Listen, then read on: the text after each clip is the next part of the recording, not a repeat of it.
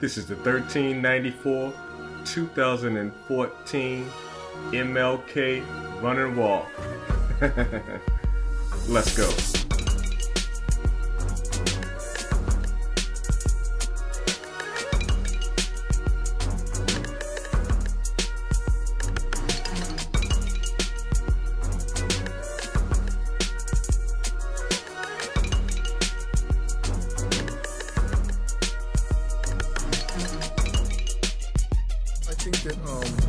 Martin Luther King Jr. really paved the way for civil rights for all races.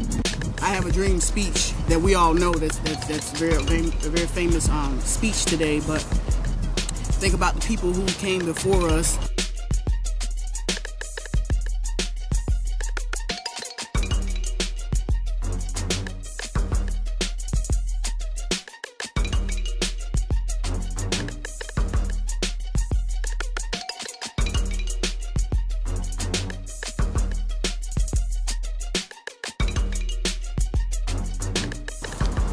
racism still isn't dead, but at the same time, Martin Luther King ended a lot of it.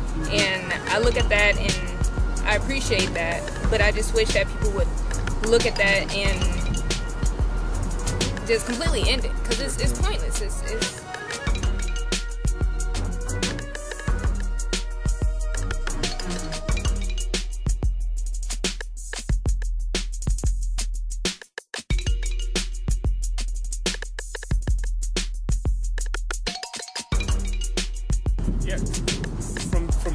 research on um, on Martin Luther King, I was looking at Malcolm X too, and they were almost like arch enemies or nemesis, you know, during the time.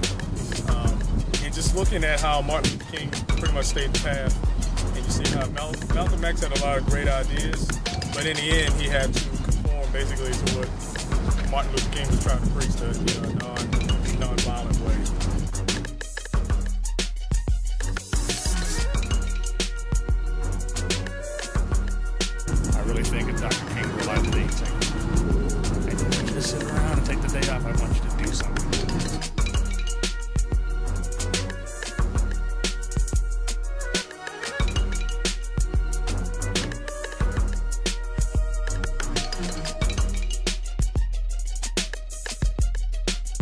Good, second place.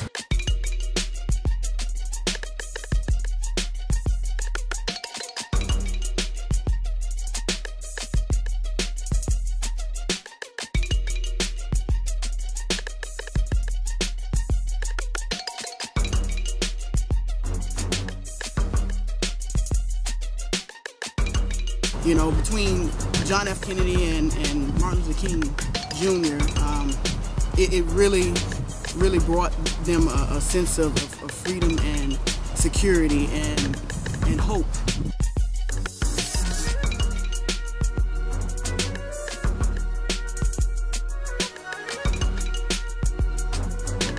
So just like the uh, Mexicans had Cesar Chavez, I think uh, his plight was helped by Martin Luther King and what he did for civil rights and uh, specifically for nonviolent uh, civil rights movements.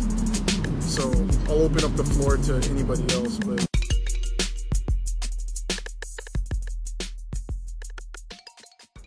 Well, I don't know what will happen now. We've got some difficult days ahead.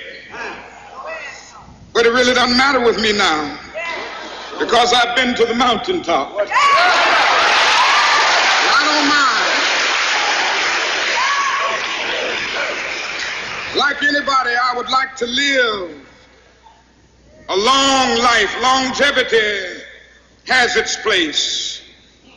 But I'm not concerned about that now. I just want to do God's will. And He's allowed me to go up to the mountain. And I've looked over and I've seen the promised land.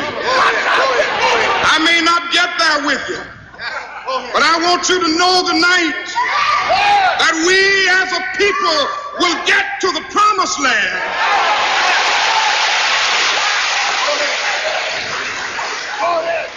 So I'm happy tonight. I'm not worried about anything. I'm not fearing any man Mine eyes have seen the glory of the coming of the Lord.